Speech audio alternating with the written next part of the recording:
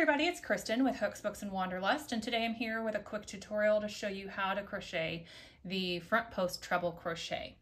This is what I would call an advanced beginner stitch because it takes something that you already know how to make very easily and quickly, the treble crochet, changes one aspect of it and how it's worked and creates something new. In this case, a decorative stitch to create texture and visual interest in your fabric. So there are different types of post stitches. We have a front post and we have a back post. The post is indicating the vertical aspect of your stitch. So I'm just gonna show you here. When you're working into stitches, typically you're working into a top V. But when you're working post stitches, you're working around this vertical aspect of the stitch. So this vertical aspect is called the post. So when I say front post, versus back post. Front is indicating the direction that that stitch is going to be pushed to which side of the fabric. So when you work a front post stitch, it's going to push the stitch to the front side of your fabric. All right, so without further ado, let's go ahead and jump in to the front post treble crochet.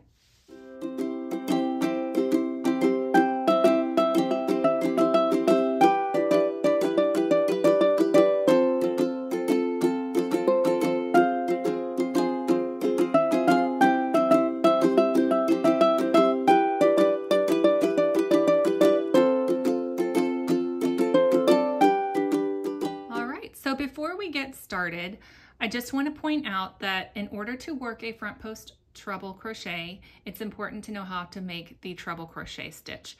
If you don't know how to do that, I'm going to link my tutorial for that stitch in my in the description box below for you. Um, it goes through how to crochet the treble crochet a little bit more slowly so that you can understand how to do it, what the different aspects of the stitch are, all that fun stuff. So um, if you are familiar with how to crochet a treble crochet, then let's proceed. So one other quick thing to note is there is a tutorial also on my channel for the front post double crochet. And I just want to point out that the only difference between the different post stitches is just what type of stitch you end with. So the only difference between a front post double crochet and a front post treble crochet is the fact that you are making a treble versus a double when you complete your stitch. Otherwise, the post part um, is actually the same regardless. And I also will be linking a photo tutorial on my blog for this entire thing as well.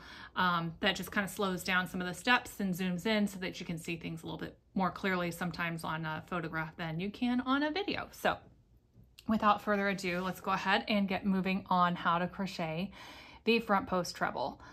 So the first thing you're going to do, as is the case with any treble crochet, you're going to yarn over twice so that you'll have three loops on your hook, all right? Then you're going to make sure you know where the post is on the indicated stitch in your pattern. So I'm going to be working my post, my front post treble crochet around this next stitch in the row below.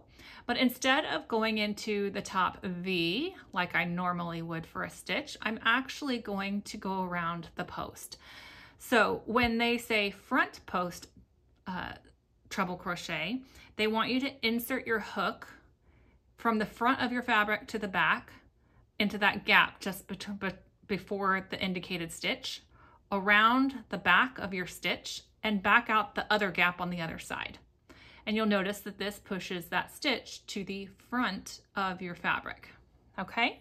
So you're going to do that I'm just gonna go one more time slowly. So I've got my two yarn overs.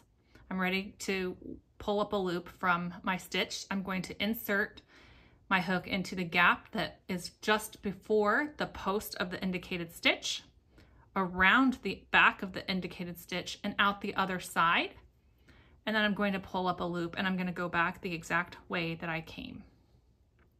So now I'll have four loops on my hook. And from here, you're just gonna complete your treble crochet like you normally would.